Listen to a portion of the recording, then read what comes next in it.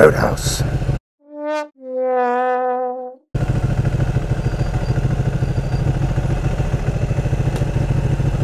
Come on, guy. Oh, Lexus drivers.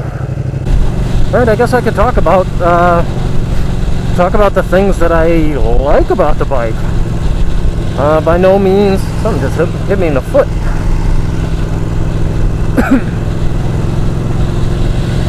by no means is this a review. I'll just talk about the things that I like. I mean, the things that I notice every day when I'm riding. The Panigales have always had a lot of heat problems. Uh, I think that the heat shield on this bike does a decent job of keeping the heat off of you. It's got riding modes that you can select dynamically. It's got the wet mode, it's got the sport mode, it's got the race mode. It's got the lean angle indicator, which is just kind of like I mean, whenever you ride with your buddies, you always kind of ride stupid. Well, the lean angle indicator is just for those times when you're not riding with your buddies and you're going to ride stupid anyway. So there's that.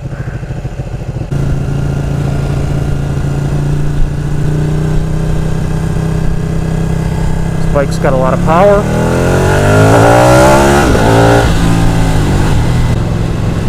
Mean, the bike's got a ton of torque, it's got a ton of power.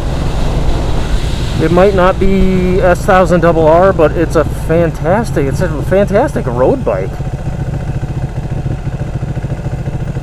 You know, I don't need all the fancy, I don't need all the fancy S electronics on this thing. Oh, there's some good hot patch. Nasty. It's not completely terrible on fuel.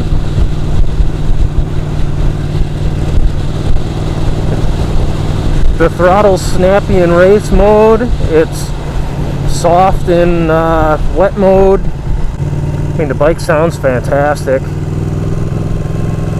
It's definitely, in my opinion, the most beautiful bike on the road. The quick shifter is out of this world. It's got a lap timer. It's got all these bells and whistles that I'm probably never even going to use. You know, for fear of causing a comment war. In my opinion, this is the best stock exhaust out there. Like I sat on an old R1 the other day, and it was like 10 feet wide. Union Alehouse Pub? What happened to Fiddlers? Fiddler! Gotcha, bitch! There are very few things that this bike is lacking. I mean, I like the like the throttle response. The brakes are fantastic. The uh, the the quick shifter up and down is fantastic. I mean, the way it looks.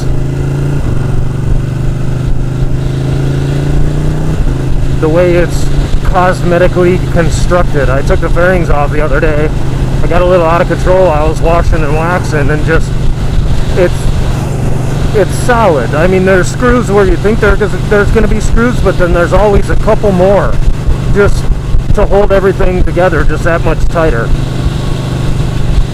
The uh, gear indicator, the gear indicator is fantastic. This is the first bike I've ever had with a gear indicator. Like usually you come up to a light, yeah, yeah, little downshift, little downshift, and you're like, oh, am I in third or fourth? You have no idea. Well, I can just look down. I'm in third right now. I'm in second. Doop. N is for no gear. I like that this bike has a, a cowl on the back instead of a seat. So nobody can ride with me. Because when I ride this bike, I want to be able to throw it around and do whatever I want to do with it. I like that at nighttime you can see things with the headlights. I love the single-sided swing arm, the way that it looks. I don't care about how it functions, it just looks fantastic. It also functions properly. The bike is moving. I like that this bike hasn't had any problems.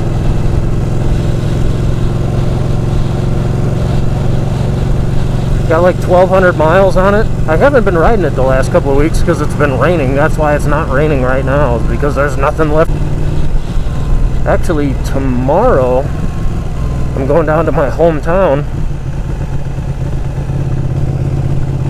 which just kind of got wiped out by a tornado. So I'll get a little footage of that. That's where all the rain went.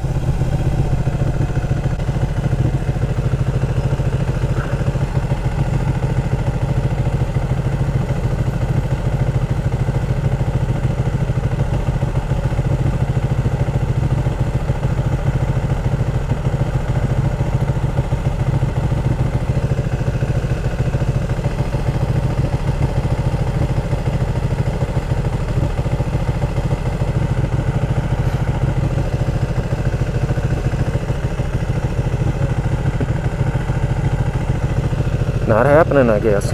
No spray paint.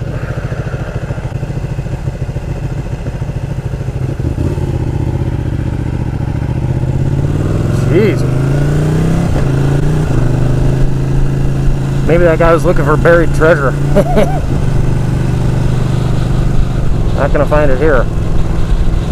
That's for damn sure. What else do I love about this bike? I love that it has two wheels. I love that it's not terribly uncomfortable.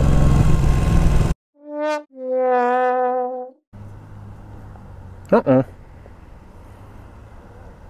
Oh no. I'll have to fix those with my man talent.